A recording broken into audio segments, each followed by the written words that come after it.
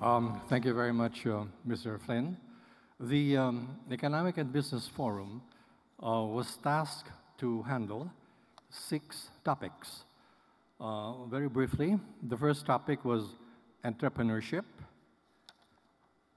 the key to sustainable development and poverty reduction. The second topic was the tourism resource. The third topic was the Economic Freedom Index, the roadmap for economic dynamism and prosperity. The fourth topic was the ASEAN Renaissance, unleashing entrepreneurial power for peace and prosperity. The fifth topic was trade and investment as a catalyst for peace and regional stability. The sixth was international business success and cultural competencies. Now, all the six topics, though diverse or coming from different angles, all converge into a few points. The first point is that entrepreneurship or entrepreneurs are the innovators and creators of business.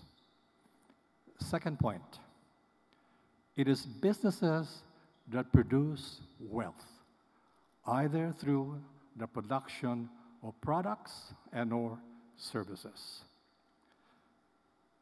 And these products and services, that is wealth, will lead to job creation, reduction of poverty, and eventually prosperity, and eventually peace.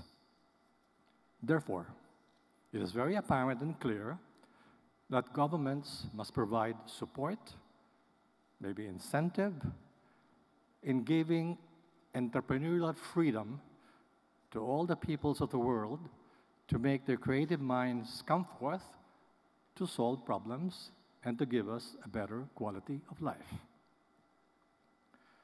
And governments must do this with an upright moral standing, again, of course, universal values, and good governance. There is no other way. Now, that said,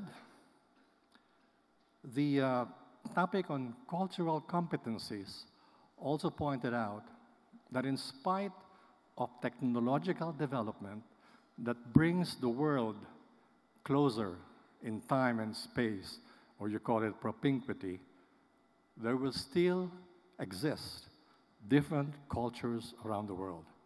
Though we may, as one world, find some, I don't know, similar cultures, there will still be subcultures or underlying cultures that are different. That said, it is therefore important for everyone, not just businessmen, to be aware that they must study, educate themselves, and respect the different cultures that exist around the world, even as technology tries to bring in one culture. The ASEAN, Association of Southeast Asian Nations, celebrates its 50th year this year, 2017.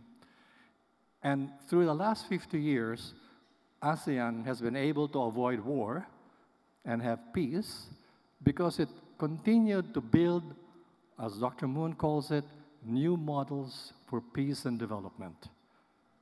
Through the years, it created different models with different names. AIC, ASEAN Industrial Complementation, BBC, and so on and so forth. No? That said, we are saying, until today, we still need new models in ASEAN. It is a work in progress. It's continually moving onward. Globally, Brexit, the Trump win in the USA, all of these signs of populism is also a search for newism, which is a new model, not only for business. Moving forward, we uh, would like to propose to the body and to GPF that uh, we create a GPBEC, Global Peace, Business, and Economic Council, moving forward. Or one of the guys said, we call it GPPEC. With that, uh, we thank you very much. That's our report.